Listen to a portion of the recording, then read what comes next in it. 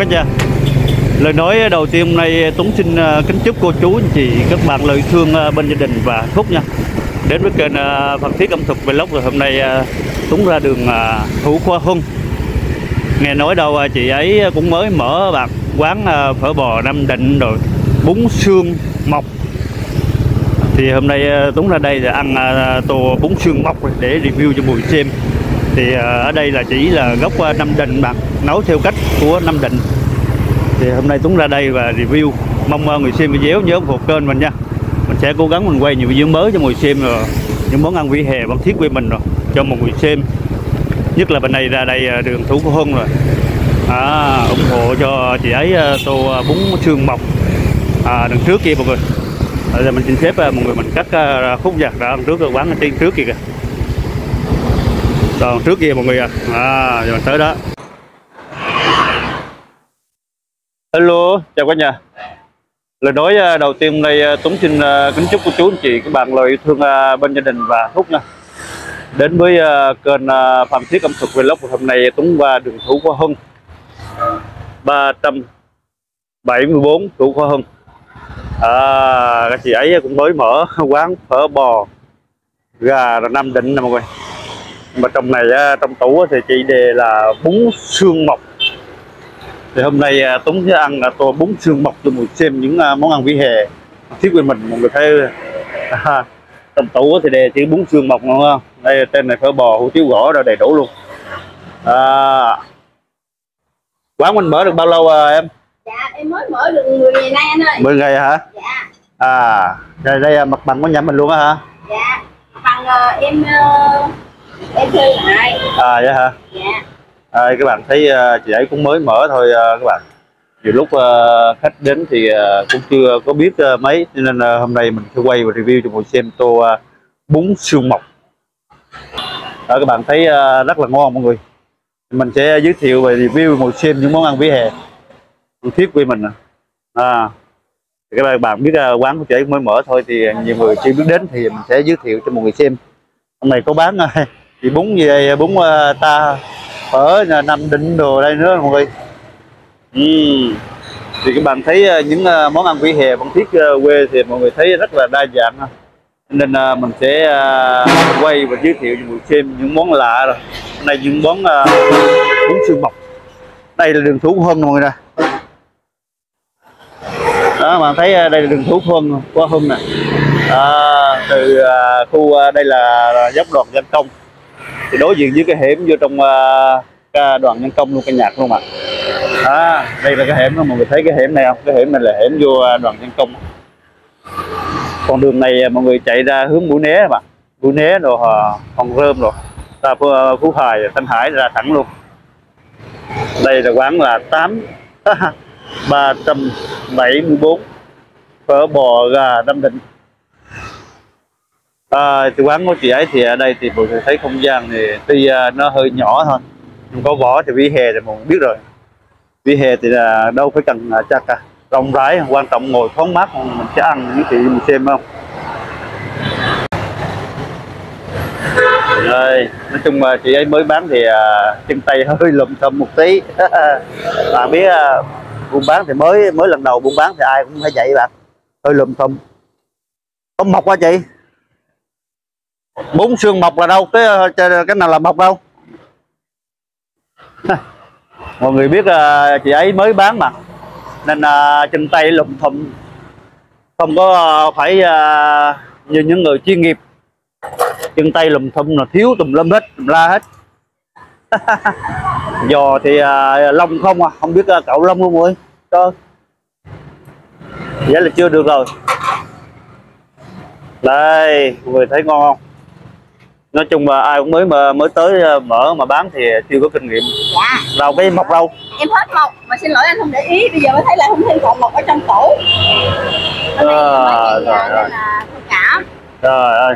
Mọi người sẽ rút kinh nghiệm sau. Đó mọi người thấy ờ, mình vô ăn bún mọc mà xương mọc ở chỉ kêu hết mọc. Mà chỉ không nói cho mình biết luôn. Chỉ làm xong thì mới nói mọi người. Tại không để ý rồi bây giờ mình sẽ dùng cái này mình sẽ giới thiệu cho mình xem. Đây là tô ờ, bún xương mọc mà không có mọc. Còn là bún xương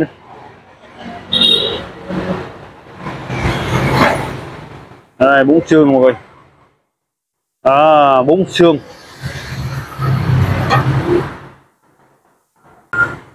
Hello chào cả nhà. Tôi nói đầu tiên đây à, Tuấn xin à, kính chúc cô chú chị các bạn lời yêu thương à, bên gia đình và hạnh phúc đến với kênh à, Phan Thiết ẩm thực vlog của hôm nay Tuấn ra đường Thủ Hôm 374 Thủ Hưng mọi người. Review cho mọi người xem à, tô bún xương bọc. À mùa các bạn thấy tô bún xương bọc không? Trời ngon quá mọi người. Đó ngon quá. Thơm chịu nói mọi người. À, trong này ăn thì có rau sống thì mọi người thấy uh, như uh, mọi người thì uh, rau sống à, này kia. Còn đây là rau sống chỉ có bắp chú rồi. Bèo, rau quế dưa rau húng mà. À thì chị ấy cũng mới mở thôi. Hôm nay à, Tuấn à, giới thiệu và review cho một người xem món ăn vỉa hè bán thiết của mình bây giờ ta, các bạn biết là những món ăn vỉa hè bán thiết bây giờ rất là đa dạng rồi. Cho nên hôm nay Tuấn qua đi ngang qua đây thấy có bún xương mọc. Thấy là lạ lạ, xương mọc vào đây các bạn không? Xương. Xương mọc các bạn ăn kèm ở đây là có ờ, dương bọc trứng trúc rồi với thịt bằm. Nấu thì mọi người thấy có cách nấu đây củ cà rốt mà. Củ cà rốt rồi đặt tay rồi bỏ ở đây. Ừ. nãy giờ nói giờ cũng nhiều nhiều thôi ờ, về xin ờ, mọi người nha. Ở đây đường nó hơi ồn tí á. Có gì mọi người cũng nghe video rồi tâm cảm nha mọi người. Sẽ cố gắng mình để review cho mọi người xem là những uh, tiếng cho nó đỡ ồn đi nha. Mình xin phép mọi người là mời cả nhà cả nhà. Ừ nước uh, lèo của chị ấy nấu um, hơi um, đậm đà ngon. Không có ngọt. Nếu mà người thấy nếu mà theo một cách mà nấu thì theo hương vị thì mọi người có mỗi cách hương vị rồi đó còn đây ăn à, kèm vui vẻ ăn muốn kèm thêm à, sa tế nữa bạn. Người có sa tế không? À, ai ăn muốn cay bỏ sa tế vô. Tế thì bỏ vô nên đỡ cay. nó cay thêm luôn chứ đừng có đợt cay. Thật sự ra mọi người biết cái sa tế này. Thơm mọi người bỏ vô nó cái tô bún nó rất thơm luôn. À, ở trong đây thì mọi người biết à, chị ấy cũng mới bán thôi. Cái à, bếp cửa nấu cũng hơi lập tập tí. Đây là mới bán à, chưa kinh nghiệm không mọi người cũng tập nấu tập bán để rút kinh nghiệm. Sau này làm ăn lâu dài thì mình có kinh nghiệm hơn. Ai cũng vậy bạn mọi người mà. Mới lần đầu mở ra là ai muốn bán vậy? Kinh nghiệm chưa có rồi giờ không có gì hơn thì mình cũng chi xin phép người bà dùng nha. Ăn rồi còn bún ờ, như thế nào còn ngon. Ở đây còn bún tươi bạn. Bún bún tươi, bún y như ở nhà mình là thường đi ra chợ mua bún mắm nêm rồi bún tươi, chứ không có khác gì lạ hơn. Chỉ cái lạ cái là cái nước ờ, chị ấy nấu cách ờ, là có củ cà rốt rồi. Ăn có tôm khô, ngay một tôm khô rồi bạn. Ừ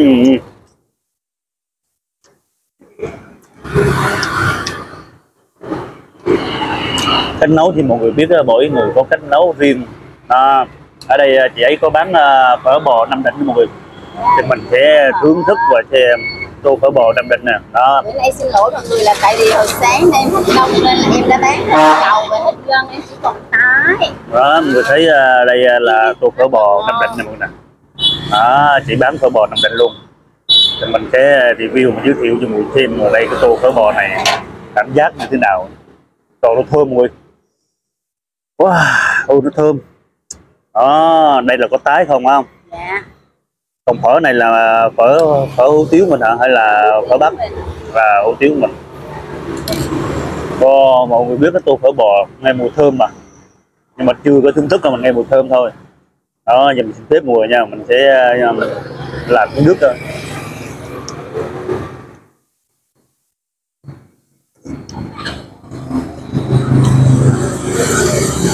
cái nước thì mọi người thấy nó nó ngon hơn cái ờ, nước bún này là ngon hơn một tí. Nói chung là cái nước này không phải là nấu uh, bằng bột ngọt nhiều. Nấu này đúng là nấu có hơn xương. Cái xương ăn nó thơm thơm. Nó hương vị thì mọi người biết trong ờ, nước tô phở bò là có hồi quế rồi là nó bình thường rồi không? Nhưng mà cái thương cái thơm trong này là mùi nước xương rồi ăn nó ngon mọi người. Nên là mọi người thấy những món ăn vỉa hè và thiết bị mình nó rất là đa dạng mọi người thì lúc mình uh, giới thiệu cho mọi người xem những món ăn vỉa hè. Chứ thật sự ra rất là đa dạng. Thì hôm nay à, Tuấn à, qua đây 374 thủ phân này Tuấn sẽ giới thiệu cho mọi người xem tô à, phở bò Nam Định. Đây là bún à, xương mọc. À, nãy giờ nói hơi nhiều rồi bây giờ mình ăn à, chứ không để nó hơn nguội các bạn.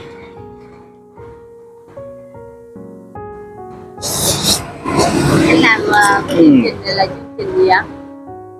Rồi, ngon quá. Lâu lâu nói chung cảm nhận ăn ấy là lạ món ngon. Ừ. cái nước ờ, tô bún uh, này thì nó hơi lạc một tí. Mọi biết là đậm đà thì nó không có hơi lạc nhưng mà theo khẩu vị thì chị ấy bán bán là theo khẩu vị của chị ấy thôi. Còn mình ăn thì mỗi người có mỗi cách ăn. Mà mỗi người có cách uh, như thế nào đó là khẩu vị à, thì đây là cái khẩu vị của chị ấy à, bán mà. Thì theo như mình nhận xét là cái này à, nước nó chưa đậm đà. À, bún xương thì mọi người thấy à, nó giống nhau rồi nhưng mà cái nước nó, nó chưa có đậm đà hơn. Đây hơi nhạt nhạt. Nước phở bò thì ok rồi bạn. Phở bò là chính là ok rồi. Phở bò rất ngon.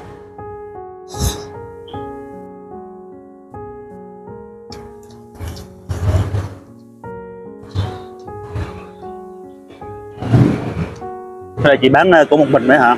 Có không ai phụ không? Dạ, có bé nhỏ mà bé nhỏ giờ này đang mắc học À, đó. Tốt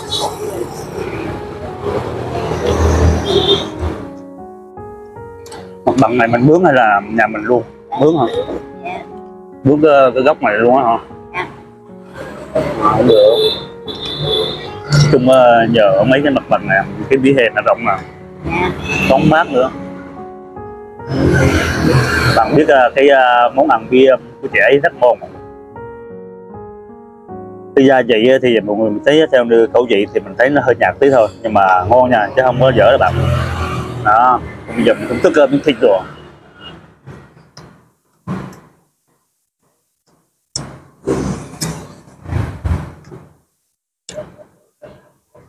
thịt thì mọi người biết làm thì giấy chị ấy nấu nó rất là mềm ăn không không cứng mà. Theo khẩu vị thì mình thấy ờ, chấm cái này cũng được uh, 8 điểm mọi người. À, ngon ha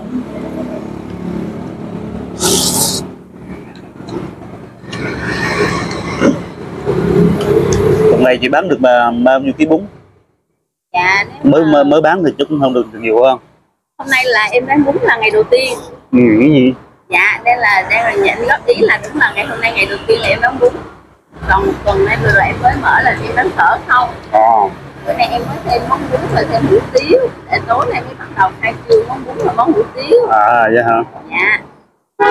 Nên là về cái cái cái cái, ờ, cái nước mà mình đem là để ý lại. Để chờ khách là phải góp ý. Ờ mọi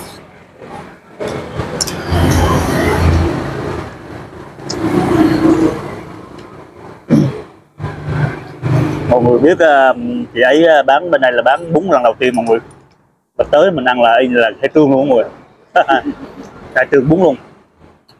Cho nên nhiều lúc ờ, ai cũng vậy mà, khi mình mình nấu một cái món nào mà mình cũng bán cho hàng trăm, hàng ngàn người ăn á, là mình bán theo cái khẩu vị của mình. Hàng trăm hàng ngàn người ăn thì mọi người biết rồi, y như là làm dâu trong họ mà. Mỗi người ý này ý kia chứ đâu có giống nhau được mọi người à, còn ai muốn ăn mặn thì uh, chăn mắm thêm. Hoặc ai muốn ăn lạc thì chắc không bây giờ lạc được. Lạc mình giờ cái nước ví dụ nó mặn mà làm lạc đâu được không người. Khó lắm đúng không? Cho nên nói chung là cái nước ờ, khẩu vị chị ấy nấu là theo cái khẩu vị của chị. Còn mình ăn thì cảm nhận của mình mỗi người. Thì theo như mình cái, ờ, cái tô này mình chấm thì được 8 điểm ngồi người đó. Đó. ăn cũng ngon chứ không phải là không ngon. Nhưng mà cái nước nó hơi lạc tí. À, thì cái khẩu vị của mình thôi cái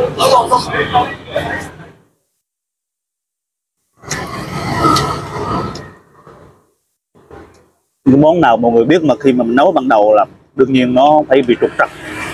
Đó rồi mình bán á mình góp ý rồi những người à, cách ăn góp ý rồi thì mình lấy số đông mà thì mình à, rút kinh nghiệm. Tại vì nó lạc thôi mình thêm một tí gì đó vô phải không? Gia vị vô nữa thì nó vừa ăn.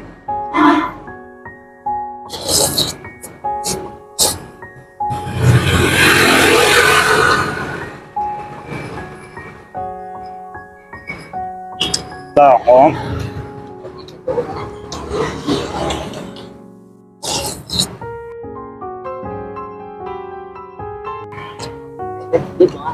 đang đang làm uh, youtube hả anh làm bên youtube review món ăn của bình thuận hả ừ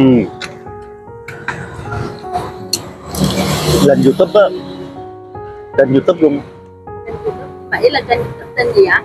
Phan thiết ờ, ẩm thực vlog.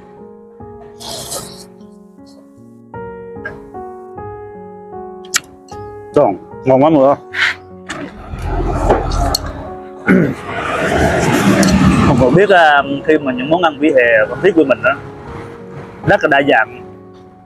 Cho nên à, nhiều lúc à, mọi người đi ăn đó cái cảm nhận của mình với cái hương vị của người người chủ quán đó bạn nó không phải giống nhau được. À, nó phải uh, chênh lệch đi. Là khi mình ăn ở ngoài quán vỉa hè hay quán bất cứ quán nhà hàng vậy bạn thì cũng giống nhau vậy thôi cái khẩu vị thì mỗi người có mỗi khẩu vị. Còn à, ủng hộ thì à, tùy theo à, lòng hảo tâm của mọi người khách mọi người ví là mình ăn thì mới đồng đi ngang qua thấy à cái chuyện này đáng ngon cũng được nè. Ghé ủng hộ chị với tô này đó. Còn ví dụ như là những món ăn vỉa hè thì mọi người biết không đi có 50 mét hai mươi mét là quán quá trời. Đâu phải có ít bạc nhưng mà đi ăn quán thì mà ví dụ xây thì mình đổi món rồi bạn.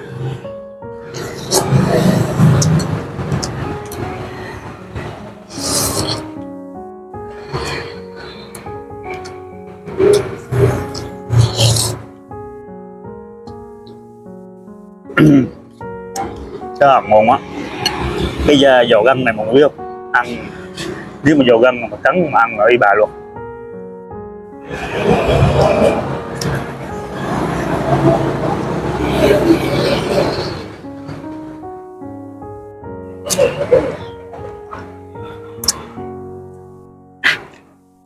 À rồi bây giờ mình à, xin phép mọi người nha mình sẽ chuyển qua tour đó thì không có gì hơn thì bây giờ mình cũng à, xin phép mọi người và chốt video. Hẹn à, mọi người một video mới. Chúc à, mọi người một ngày vui vẻ bên gia đình và phúc. Gặp nhiều may mắn à, trong cuộc sống rồi. Nhớ đón xem video mới và ủng hộ kênh và ủng hộ cho quán trẻ nha bạn. 374 thủ khoa hưng quán phở bò Nam Định. Rồi bún xương mọc đó hủ tiếu gõ rồi xin biết mọi người chưa.